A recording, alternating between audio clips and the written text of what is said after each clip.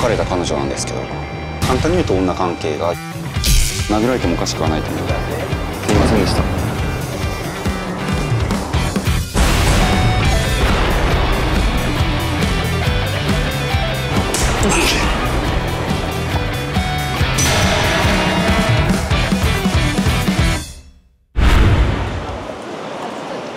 おはようございます。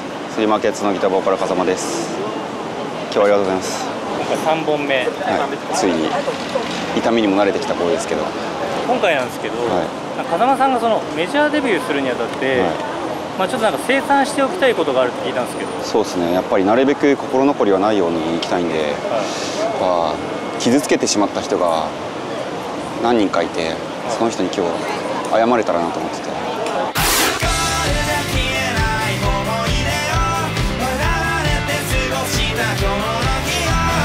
結構そのあれですか？もしかしたら謝ることによって、はい。もしかしたら相手怒る可能性ありますか？ありますね。許してもらうか、い。まあ、許してもらわないか、は分かりやすくしたいなと思ってるんで許してもらうんだったら、は握手。い握手。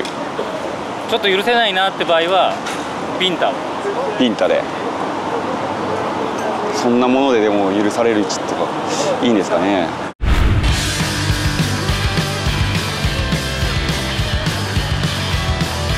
まず謝りたい人誰ですか？別れた彼女なんですけど。元カノさん。はい。3年前に別れた彼女。謝りたいですどのくらいお付き合いされたんですか付き合ったのは5年よりちょっと長いぐらい。まだインディーズで活動してそうですね。はい。めちゃくちゃ助けられましたね。るじゃあお願いしますされたはい。ということなんですかはい。出会ったきっかけは、まあ、ライブハウスなんですけど、ライブ終わった後の中打ちみたいなのが あって、まあ、ライブ後のバンドバーンとちょっとお客さん同士での打ち上げみたいなのに、まあ、ライブハウスので働いてた友達の人が面白い人いるよみたいな感じで呼んでくれて知り合いました。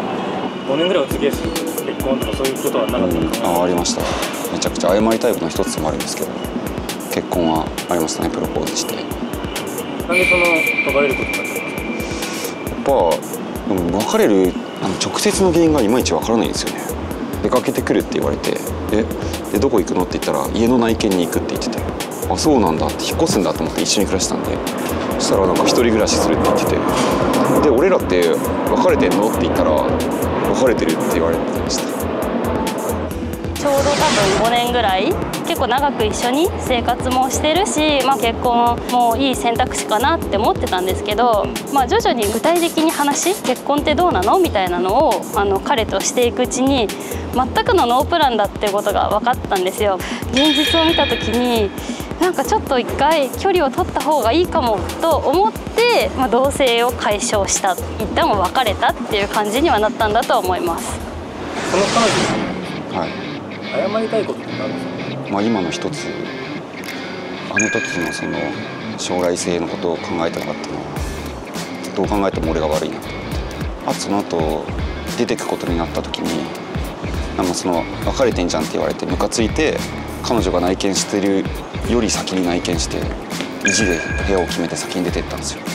それは今思うとすごい最悪だったな。ってあと勝手に曲とか作ってるのも謝りたいですね。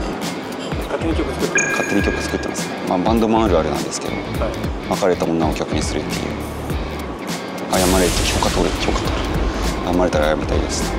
じゃあ今歌ってる曲の中に綴った歌があるあありますね。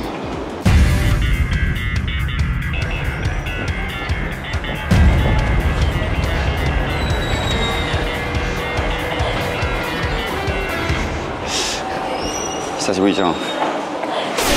久しぶりありがとうね今日は。暑いね。頼んじゃったから。嘘。頼んだらなんか。めちゃくちゃ暑いね。よくよく来てくれたね。本当にね。ね。原宿すごいね。久しぶりに来た。人が多いね。人が多い、ね。うんそうだね。観光客が多観い光客いや外人ばっかだった。今ちょっとそこ回ってきたんだけど裏腹。時代になったね。何？何？何？何？何？いやなんか話したいことがあるのかなって思っちゃった。うん話したいこといくつかあるんだけど。ありがとうございます。今日さはい。まあメジャーデビューするじゃん。おめでとうございます。ありがとうございます。言わせたいわけじゃないんだけど。それにあたってさ心残りを減らそうっていうのとさ謝りたいなと思っていろいろと、謝る？うん、まず勝手に曲作ってるの申し訳ないなと思って。あ別れた後に、あはいはいはい。あ別れた後に？うん、例えばどどの曲ですか？あの「暇」っていう曲作ったんだけど。はいはい。こんなお前がいなくても大丈夫だよみたいなはい。曲とか。今新しい曲も、まあ、そうなんだけど、これから出る曲ってことですか、まあ、出すかわかんないんだけど、あうん、ディズニーランド行こうって曲作ったんだけど、まあ、ディズニー嫌いじゃん。ー嫌いだね。そう。だそこはちょっとあれしてるんだけど、まあ、彼氏できたなっていうのも含めてうん勝手に曲作ったなと思って本当にすいませんでした。あーあさタカさんの曲ってもう日常のことがやっぱメインじゃん。うん。だからエピソードになるものがあるんだったら私は全然使われてもまあ、それがバンドマンと付き合ったものの。えーはい。無限に？永遠に？バックナンバーみたいな感じでした、はいなんですけどありがとうございます。はい、あのプロポーズしたじゃん。はい、しましたね。あれは2021年。2021年のリキッドの後の。3月だね、うん。はい OK してくれたじゃん。はい。はいその後さは資産運用の話になったじゃんあれさ俺はあの時バンドマンに何言ってんだよって話をしたんだあれも多分別れる原因の一つになったと思うんだけど。あまあそれもある。うん。あれは本当にすいませんでした。あの時さ、うん。私的にはね当時プロポーズまでしてくれてたのにえ何も考えてないじゃんっていうのがすごいショックだったの。何も考えてなかった。そう。プロポーズだけ逃げみたいな。紙切れ1枚だろみたいな気持ちがやっぱりあの当時はあってうんうん。それは俺の甘えだなと。すいませんでした。まあ最後なんだけど、まあ、最後はそんなはい。あれなんだけどあのどこ行くのって言った時さ内見に行くって言ってさえ家引っ越すのかなと思ったらさあの一人で暮らすよって言ったじゃん。でそう別れてんの？って言ったら別れてるって言ったじゃんあれ別れたんだってなったんだけど家を出る前にさ俺意地でも物件を見つけてさ先に出てったじゃん。先にあなたが出てったってことでしょ？う。ん。あれはねすげえ後悔してる俺には俺の生活があるって言ってたもんね。ごめんなさい。結構やばいタイプの。そうだねこうやって聞くとそうね。嫌なやつだね。謝りたいことはい。を伝えられました？なんか話してるうちにもっと出てきそうな気がしてきた。10個ぐらいありそう最終的には。もっとありそう。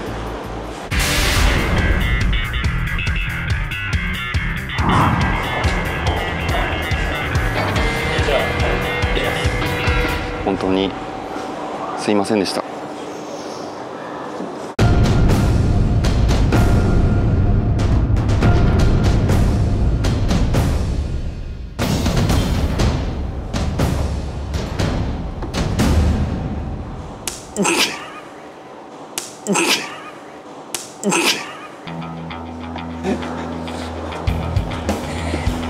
な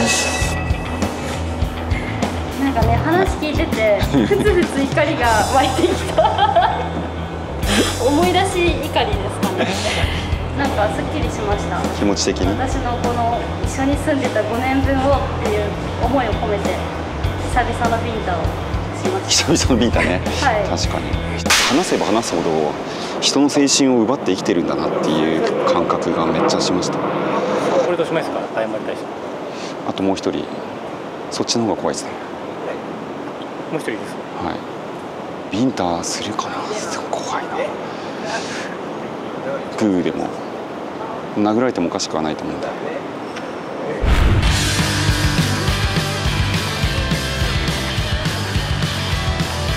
次に謝りたい方っていうのははい。どなたですか？前にバンドを一緒にやってたベーシストなんですけれども今スリーマーケッツってバンドですけどその前のスリーマーケッツ株っていう時だった時のメンバーですね。ベースの元メンバーですね。当時はツインボーカルやってました。僕と彼がボーカルででドラムの一人ってスリーピースっていう、6年ぐらい前にはい、脱退。退してそれっきりだったので。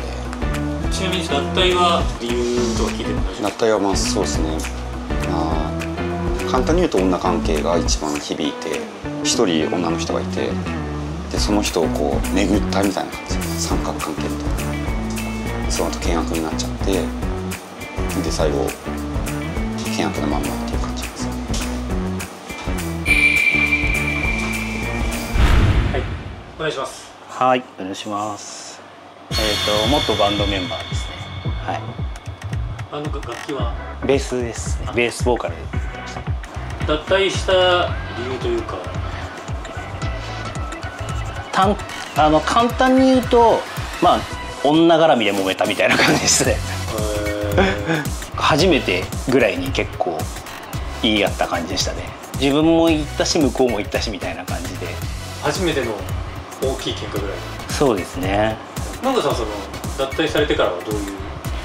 えっ、と脱退してサラリーマンになってで、えー結婚して子供ができてっていうような感じです今。はい。あ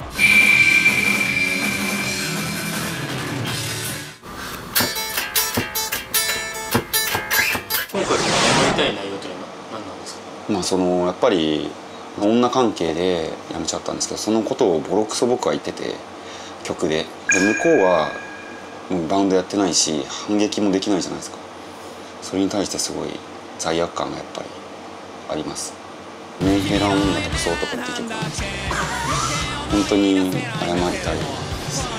そのメンヘラ女っていうのはこの女性関係で揉めた時なんですけどクソ男は誰ベースのことだったんですどどうせ別れるんだろうと思ったんですけどちゃんと結婚したんですよ彼一応伝えてはいるんですか？伝えてないです。もしかしたら今日初初めて知る可能性もあるってことですそうですね。殴られてもおかしくない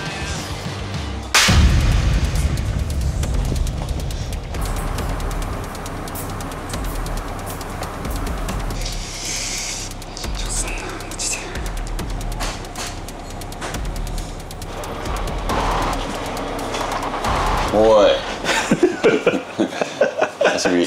久しぶり。ありがとう。髪切った？え？髪切った？ったっけだ？わかんない。タモさんえタモさん？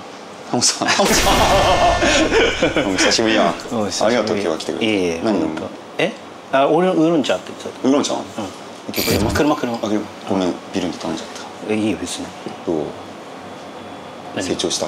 子供、ん。成長してるね。まあ面倒くさい。面倒くさいとかあのなんかやっぱ自我が芽が芽生え始めるからさ。今もういくつになったんだっけ？もうすぐ5歳。5歳。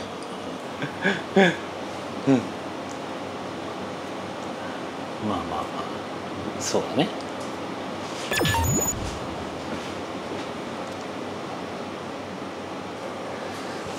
今日さめっちゃさまあ今日の企画の趣旨どう聞いたかわかんないんだけどさ、うん。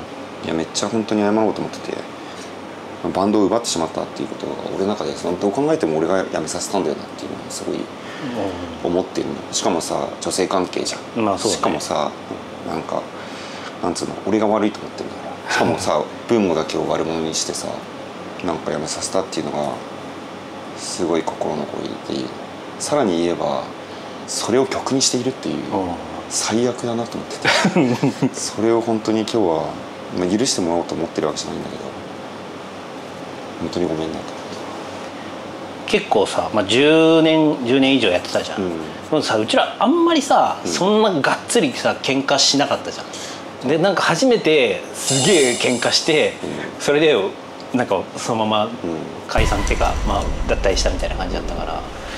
まあ確かにねその別れ方はねあんまりよくよろしくはなかったかもしれないけど、辞めた後にまあ辞めたことを後悔しないように生きようと思ったんだよね。うん、で今全然後悔してないしあの時辞めたことをね、もっとやってたかったなっていう気持ちはないから、ムカつくとか怒ってるかって言われたらそんなことはないかなと思う。ちょっとあの曲はイラついたかもしれないけどね。本当にごめんなさい。もう文吾は歌うなと言ったらもう歌わないし、まあ、特にそんなすげえひどい歌詞だなと思って。話せますけど。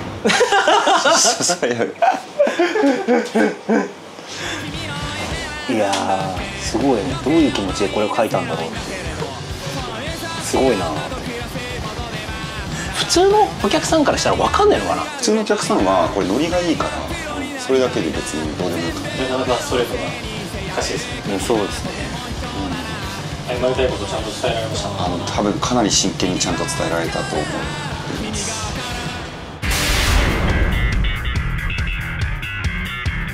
覚悟はいつでもできてる。ひねるよ。ねあでもなんか鼓膜とか言われたらな。メジャーデビューがなくなっちゃうかもしんないな。本当に？ごめんね。マジでごめんなさい。今日来てくれてありがとう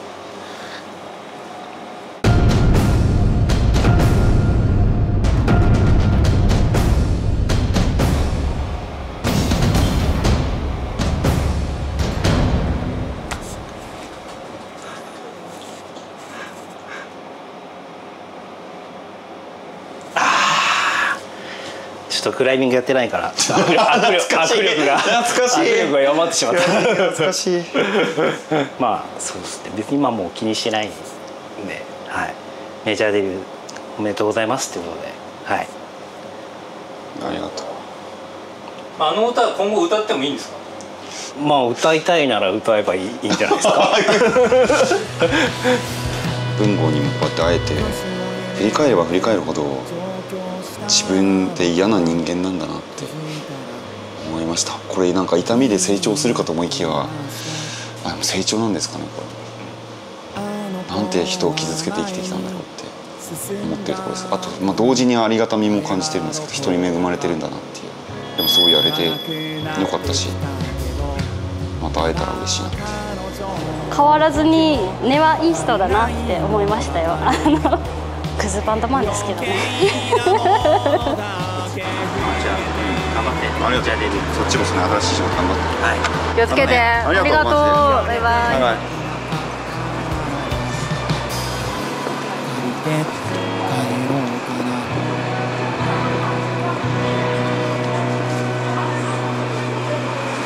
いい男だな